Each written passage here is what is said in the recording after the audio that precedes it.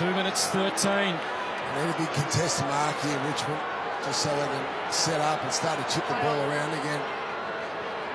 Edwards didn't want to give a loose kick. Instead, it's Floston who blasts away. Clurey well positioned, takes the mark. Two big marks in the last couple of minutes, Clurey. They'll go again. It'll be Wines. He rolls with it. And again, the Tigers. No one really flew against this man, Dylan Grimes. Yeah, that, that's his fourth intercept mark for the quarter, four contested marks. Hits the target with that one. Yeah, every player in the half of the field now. Port Adelaide's end, obviously. Astbury gives it plenty. Back to the wing, Rioli. Jack Ross has territory. It's Tigers again. Baker, if it gets the Lynch, they'll get a good clean shot at goal. And he doesn't rush. I think he was up for the kicking. He was over the other side of the ground. Will inevitably get hurt from the open side key forward running back towards goal.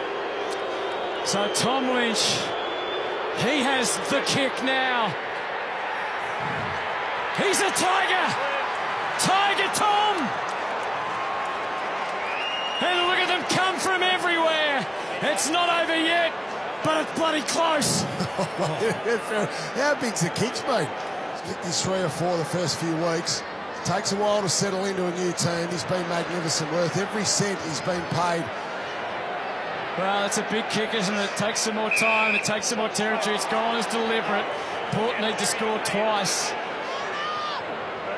So there's absolutely no margin for error. Richmond win possession back. Spoke's been handy too. First game, what a debut.